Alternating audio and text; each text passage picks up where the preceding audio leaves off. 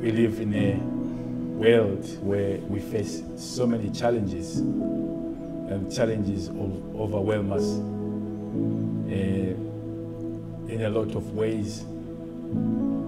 I take strength and encouragement from Philippians. Mhm.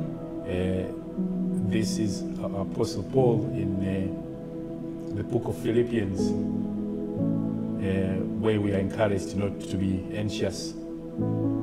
We easily get anxious because of things that happen around us, challenging us and challenging our faith. But in the scripture, he encourages us not to be anxious, but instead, he says in each and every circumstance, uh, we should uh, bring our requests to the Lord.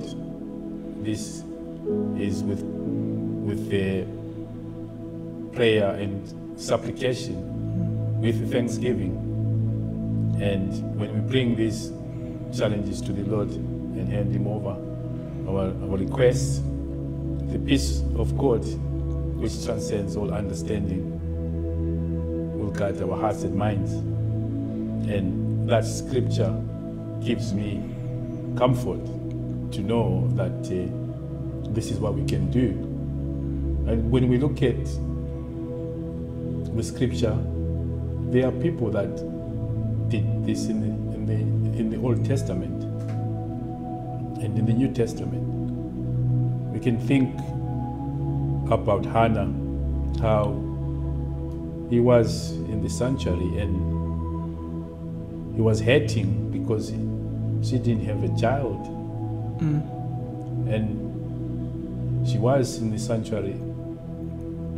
She couldn't even say a word of what she wanted to pray about. Mhm. But in her heart, she was talking to the Lord and asking for that blessing of that child. Yeah. And Eli thought maybe she was drunk. Yeah. He says, and she said, No, I'm not. I'm praying and seeking the Lord to bless me Mm. with a son. And Eli said to her, I hope your your prayer gets answered. And, and it was answered. Yeah. Yeah. And she was blessed with a son, uh, Samuel, Mm. who, when he was born, Hannah promised that she'll take it back to the house of the Lord Yeah. to serve the Lord. Yeah, it's a good. So that story is a good example for, uh, for to, to emphasize about the power of prayer, isn't it? Because when we pray, God hears, and Hannah prayed in her distress, and God heard uh, her prayer, and that ex- shows why we have to pray, as you said, Yeah. during our difficult times, anxious times, instead of worrying, uh, as you mentioned, like we should pray to God and stop being anxious, um, um, isn't it? Yes, and it, it has to be an earnest prayer, Mm. as, as the Bible reminds us that the prayer of an earnest person, as we know that this happened with uh, Elijah, uh, it, do- it does wonders. And it doesn't have to be audible. Yeah, Again, going back to Hannah, she was not able to say the words. And the prayer was answered because the Lord knew what was in her heart and Mhm. what she was praying about.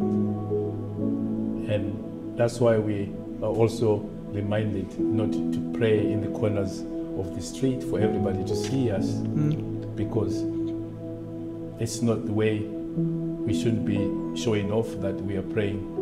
But the Lord encourages us to to pray in, in secret, in, in, the private room, Mm. and He who hears and sees from the place above will answer us. yeah, that's that's very good. And um, here in the co, we we uh, we have a time of prayer um, once a week. Um, and if you have, if you're watching this, if you have any prayer requests that you want us to pray for, we remember all of your prayer requests. So if you have any prayer requests, you can send it to us via social media or email it to me. And um, thanks for uh, joining this edition of Freecast. Thanks, Israel, Thank for you. joining. Thanks for having me.